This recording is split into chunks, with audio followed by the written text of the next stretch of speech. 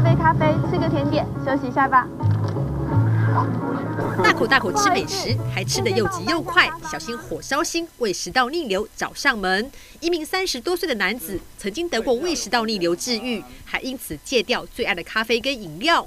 没想到近来不舒服症状再度出现，甚至还造成食道发炎。造成他又有火烧心的感觉，就是胸口有灼热感，啊，造成他影响他夜间的睡眠。那也有研究发现，影响到夜间睡眠的话，那代表呃有更高造成食道癌的风险。经过胃镜的检查，它有比两年前更加严重。那我们有不知道应该已经 A、B、C、D 已经是 B 级的程度。发炎的长度小于零点五公分的话，算是 A 级。那现在已经超过了，所以算是 B 级。除了症状比以往还要严重，医师也发现，原本身高一百七十六公分、体重七十五公斤的病患，两年内体重也暴增十五公斤，增加胃食道逆流风险。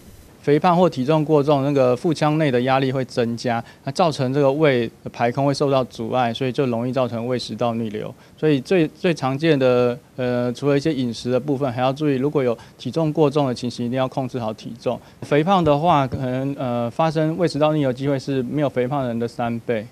治疗胃食道逆流，目前药物就能得到良好效果。不过，医师还是要提醒，想要根治，就必须得要从生活作息全面检视，像是避免烟酒、辛辣跟快速进食，同时还要控制体重。